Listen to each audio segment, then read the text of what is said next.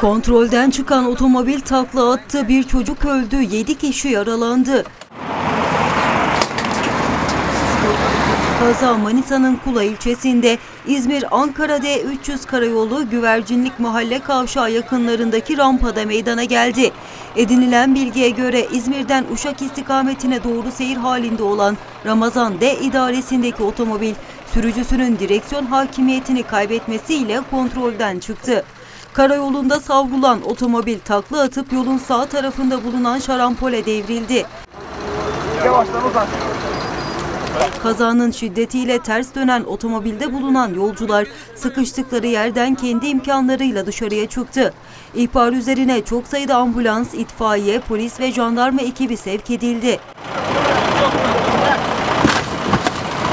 Kazada araç sürücüsü Ramazan D ve yolcu olarak bulunan Kadriye D, araçta bulunan diğer 4 kişi yaralandı. Yaralılar ambulanslarla çevre ilçelerdeki hastanelere kaldırılırken ağır yaralı olarak Kula Devlet Hastanesi'ne kaldırılan 7 yaşındaki Eymen Demirel doktorların tüm çabasına rağmen kurtarılamadı. Kazayla ilgili soruşturma başlatıldı.